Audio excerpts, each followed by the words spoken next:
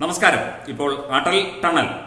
അത് ആ തുരങ്കം കണ്ടതിൽ പിന്നെ ഇവിടെ എങ്ങനെങ്കിലും ഒരു തുരങ്കം തുരക്കണം എന്ന ആഗ്രഹമാണ് ഇവിടുത്തെ കേരള സർക്കാരിന് എന്ന് തോന്നിപ്പോകുന്നു. മുഖ്യമന്ത്രിയുടെ ചില പ്രസ്താവനകളൊക്കെ കാണുമ്പോൾ. എന്തൊക്കെയായാലും ഒരു തുരങ്കം തുറന്നു കഴിഞ്ഞാൽ എല്ലാം ആയി. ഇത് ആർക്കിട്ട് തുരങ്കം വെക്കാനാണ് അല്ലെങ്കിൽ ആർക്ക് തുരങ്കമാകും ഈ തുരങ്കം എന്നുള്ളതൊക്കെയാണ് ഇപ്പോൾ ചോദ്യങ്ങൾ ഉയരുന്നത്. സമൂഹ മാധ്യമങ്ങളിലൊക്കെ പലരും ചോദിക്കുന്നുണ്ട് എന്തിനു തുരങ്കം? അല്ലെങ്കിൽ തുരങ്കം ഉണ്ടായിക്കോട്ടെ. ഒരാൾ തുരങ്കം തുരക്കുന്നത് കണ്ടുകൊണ്ട്. അത് ആ പ്രദേശത്തിന്റെ ആവശ്യമായിരുന്നു ആ തുരങ്കം. അത് എത്രയോ കാലത്തെ അധ്വാനം കൊണ്ടും എത്രയോ കാലത്തെ ആ ഒരു ഏകോപനം കൊണ്ടും സാധിച്ച ഒരു കാര്യമാണ്. അതിപ്പോൾ ലോക ശ്രദ്ധ ആകർഷിച്ചിരിക്കുകയാണ് അടൽ ടണൽ. അത് കണ്ടിട്ട് ഈ പണ്ട് മുത്തശ്ശിമാരൊക്കെ പറയും കാട്ടിയത് കാട്ടിയാൽ കഴിവേറും എന്ന് പറയും. അതായത് ഒരാൾ കാണിക്കുന്നത് അതേപടി ആവർത്തിക്കാൻ ശ്രമിച്ചു കഴിഞ്ഞാൽ അതൊരിക്കലും നല്ല കാര്യമാകില്ല എന്നൊക്കെ പഴയ ആൾക്കാർ പറയുന്നത് കേട്ടിട്ടുണ്ട്. ഏതാണ്ട് അവസ്ഥയാണോ കാര്യങ്ങൾ എന്നുള്ളതാണ് നമുക്ക് സംശയിക്കേണ്ടത്. എന്തായാലും തുരങ്കം വയനാട്ടിലേക്ക് തുരങ്കം വയ്ക്കുക എന്നുള്ളതാണ് പുതിയ പദ്ധതി എന്നറിയാൻ കഴിയുന്നു. വക്കീൽ ഹരീഷ് വാസുദേവനെ എല്ലാവർക്കും അറിയാം. സമൂഹ മാധ്യമങ്ങളിലൊക്കെ ഇടപെടൽ നടത്തുന്ന വ്യക്തിയാണ്. അദ്ദേഹത്തിന്റെ പല അഭിപ്രായങ്ങളോടും നമുക്ക് രാഷ്ട്രീയമായും സാമൂഹ്യമായും ഒക്കെ വിയോജിപ്പുണ്ട്. പക്ഷേ ഈ ഒരു കാര്യത്തിൽ ഈ തുരങ്കത്തിന്റെ കാര്യത്തിൽ അദ്ദേഹം പറഞ്ഞ വാദങ്ങളോട് നമുക്ക് യോജിക്കാതെ തരമില്ല. അദ്ദേഹത്തിന്റെ രാഷ്ട്രീയവും അദ്ദേഹത്തിന്റെ ചിന്തയും മറ്റു കാര്യങ്ങളും എന്തുമായിക്കൊള്ളട്ടെ പക്ഷെ അദ്ദേഹം പറഞ്ഞ ആ കാര്യം നമുക്ക് ശ്രദ്ധിക്കാതിരിക്കാൻ സാധിക്കില്ല എന്നതാണ് മനസ്സിലാകുന്നത്. നമുക്ക് ശ്രീ ഹരീഷ് വാസുദേവന്റെ ഫേസ്ബുക്ക് പോസ്റ്റ് ഒന്ന് നോക്കാം. അദ്ദേഹം ഇതുമായി ബന്ധപ്പെട്ട് മാധ്യമങ്ങളിലൊക്കെ തന്നെ പ്രതികരിച്ചിരുന്നു. അദ്ദേഹം ഒരു വീഡിയോ ഇട്ടു. അങ്ങനെ നിരവധി പ്രതികരണങ്ങൾ ഈ ഒരു വിഷയത്തിൽ നടത്തി. എന്തായാലും അദ്ദേഹത്തിന്റെ ഫേസ്ബുക്ക് പോസ്റ്റ് ഒന്ന് നോക്കാം. വയനാട്ടിലേക്ക് പോകാൻ താമരശ്ശേരി ചുരം ഒഴിവാക്കി മല തുരന്ന് നീണ്ട തുരങ്കമുണ്ടാക്കാൻ തീരുമാനിച്ചിരിക്കുകയാണ് പിണറായി വിജയൻ സർക്കാർ. വികസനത്തെ തുരങ്കം വയ്ക്കാൻ സമ്മതിക്കില്ലെന്ന് ഇന്ന് മുഖ്യമന്ത്രി പ്രഖ്യാപിച്ചിട്ടുമുണ്ട്. വനമേഖല ഉൾപ്പെടെയുള്ള വലിയ മല തുരന്നാണ് തുരങ്കം ഉണ്ടാക്കേണ്ടത്. എന്തായാലും വനമേഖല തുരന്നേ പറ്റൂ തുരങ്കം ഉണ്ടാക്കാൻ. ഈ താമരശ്ശേരി ചുരം എന്തിനാണോ എന്തോ ഇനി.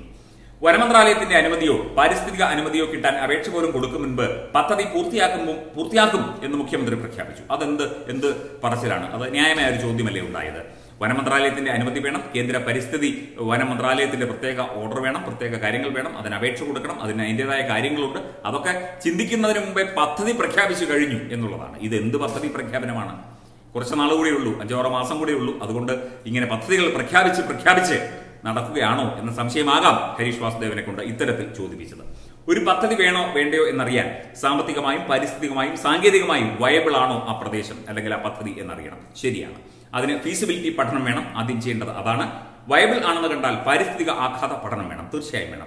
പദ്ധതി കൊണ്ടുണ്ടാവാവുന്ന ആഘാതങ്ങൾ എന്തൊക്കെ അതെങ്ങനെയൊക്കെ പരിഹരിക്കാൻ പരിഹരിക്കാൻ സാധിക്കും. അതുപോലെ തന്നെ പരിഹരിക്കാനാകാത്ത ആഘാതമാണെങ്കിലോ സാമ്പത്തിക സാങ്കേതിക ബുദ്ധിമുട്ട് വല്ലതുമാണെങ്കിലോ പദ്ധതി നഷ്ടത്തിലാണെങ്കിലോ അത് ഉപേക്ഷിക്കും അല്ലെങ്കിൽ മുന്നോട്ട് പോകും. ഇതാണ് ഒരു പദ്ധതിയുടെ ഒരു ക്രൈറ്റീരിയ. ഇങ്ങനെയാണ് ഇത് നടത്തി വരുന്നത്.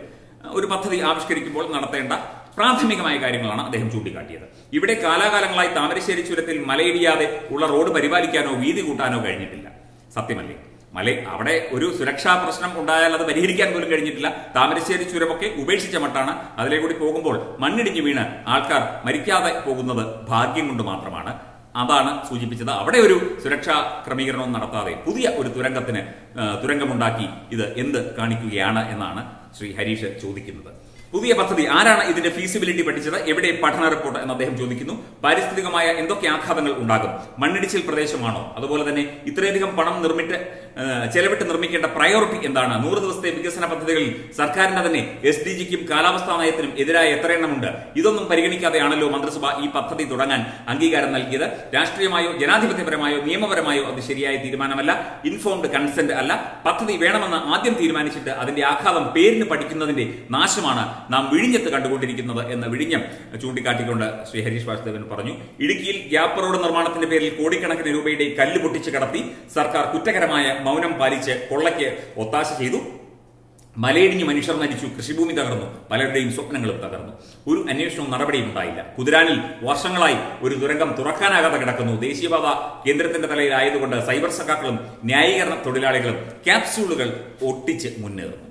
കോടിക്കണക്കിന് രൂപയുടെ പാറയാണ് ഈ തുരങ്കപാതയുടെയും പിന്നിലെന്ന് സംശയിക്കുന്നു. അല്ലെങ്കിൽ ഇത്തരം പദ്ധതികൾ രഹസ്യമായി തീരുമാനിക്കപ്പെട്ടില്ലല്ലോ. പഠനങ്ങൾ വേണ്ടെന്ന് വെക്കില്ലല്ലോ. മലയിടിഞ്ഞ് പാതി വഴിയിൽ നിർത്തിപ്പോയാലും കൊങ്കൺ കമ്പനിയെ മുൻനിർത്തി സബ് കോൺട്രാക്ട് കമ്പനിയും കമ്മീഷൻ ഏജന്റുമാരും അവരുടെ തലമുറയും രക്ഷപ്പെടും. ചിലപ്പോൾ എൽ ഡി എഫിന്റെ തെരഞ്ഞെടുപ്പ് ഫണ്ടും കൈച്ചിലാകും എന്ന് പറയുന്നു. ഇടിയുന്ന താമരശ്ശേരി ചുരത്തിന് ബദലായി തുരങ്കമാകാമെങ്കിൽ എല്ലാവർക്കും നല്ല കാര്യമാണ്. കുറെ കാർബൺ എമിഷൻ പോലും തടയാനാകും എന്നത് ശാസ്ത്രീയമായ പഠനങ്ങളുടെ അടിസ്ഥാനത്തിൽ തീരുമാനിക്കപ്പെടേണ്ട കാര്യമാണ്. അതുപോലെ തന്നെ അശാസ്ത്രീയ പദ്ധതികൾ ഇത്തരത്തിൽ പ്ലാൻ പ്ലാൻ ചെയ്ത് പിന്നീട് വഴിയിൽ ഉപേക്ഷിച്ച് ഈ തുരക്കുന്ന പാറ അത് ഖനനം ചെയ്ത് അല്ലെങ്കിൽ അത് വിറ്റ് അതിന്റെ കോൺട്രാക്ട് പിടിച്ച് കോടികൾ സമ്പാദിക്കുന്ന അവസ്ഥയൊക്കെയുണ്ട് എന്ന് അത് സംശയിക്കുന്നു എന്ന് ചൂണ്ടിക്കാട്ടിക്കൊണ്ടാണ് ശ്രീ ഹരീഷ് വാസുദേവൻ ഈ പോസ്റ്റ് ഇട്ടിരിക്കുന്നത്. അദ്ദേഹം പറഞ്ഞത് എല്ലാ എല്ലാ പോയിന്റുകളും ചിന്തിക്കേണ്ടത് തന്നെയാണ്. അതായത് നിലനിൽക്കുന്ന വികസനം വേണമെന്ന പരിസ്ഥിതി ദിനത്തിലെ പ്രസംഗങ്ങളിൽ ആത്മാർത്ഥതയുണ്ടെങ്കിൽ ഈ പദ്ധതിയുടെ സമഗ്രമായ ഫീസിബിലിറ്റി റിപ്പോർട്ട് ഉണ്ടാക്കണം. അത് ജനങ്ങൾക്കിടയിൽ ചർച്ച ചെയ്യണം. അല്ലാതെ ഭൂരിപക്ഷമുള്ളതിന്റെ പേരിൽ എന്തും എങ്ങനെയും നടപ്പിലാക്കി കളയാം എന്നാണ് മുഖ്യമന്ത്രി പിണറായി വിജയനും കൂട്ടരും വിചാരിക്കുന്നതെങ്കിൽ അത് ഈ നാട്ടിൽ നടക്കില്ല എന്ന് പ്രത്യേകം പറയേണ്ടതില്ലല്ലോ എന്ന് പറഞ്ഞുകൊണ്ട് അതിന്റെ സംക്ഷിപ്തമായ രൂപം വിശദീകരിച്ചുകൊണ്ട് ശ്രീ ഹരീഷ് വാസുദേവൻ ഈ പോസ്റ്റ് അവസാനിപ്പിക്കുന്നു. തീർച്ചയായും ഇതുപോലെ തന്നെ തുരങ്കത്തിനായി തുരക്കുന്ന ആ ഒരു മണ്ണും പാറയും ഒക്കെ തന്നെ കച്ചവടം ചെയ്യാനുള്ള ഏജന്റുമാരെ ഇവിടെ തീരുമാനിച്ചിട്ടുണ്ടാകും.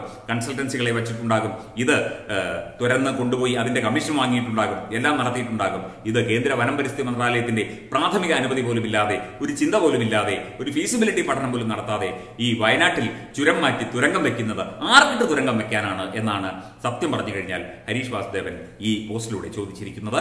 ഇത് പൊതുജനങ്ങൾ ചോദിക്കുകയാണ്. ആർക്കിട്ട് തുരങ്കം വെക്കാനാണ്. ആരെ തുരങ്കത്തിനുള്ളിൽ കയറ്റാനാണ് ഈ പദ്ധതിയൊക്കെ ഇങ്ങനെ പ്രഖ്യാപിച്ച് ജനങ്ങളുടെ കണ്ടിൽ പൊടിയിടുന്നത് പാറപ്പൊടി വാരിയിടുന്നത്? ഇതൊക്കെ സ്വന്തമായി തീരുമാനിക്കാമെങ്കിൽ അതൊക്കെ ഏകാധിപത്യ ഭരണകാലത്ത് രാജഭരണകാലത്തൊക്കെയാ നടക്കുകയുള്ളൂ നടക്കുകയുള്ളൂ. ഇതൊരു ജനാധിപത്യ സംവിധാനമാണ്. ഇവിടെ ജനങ്ങൾ തീരുമാനിക്കുന്നതാണ് കാര്യം എന്നുകൂടി സൂചിപ്പിച്ചുകൊണ്ടാണ് ഈ ഒരു പോസ്റ്റ് അദ്ദേഹം ഇട്ടിരിക്കുന്നത്. എന്തൊക്കെയായാലും ഈ ഒരു വിഷയത്തിൽ ജനകീയമായ ഒരു ചർച്ചയും അഭിപ്രായ രൂപീകരണവും നടക്കണം എന്നാണ് ഞങ്ങൾക്ക് പറയാനുള്ളത്. Web desk Tatwamayi news.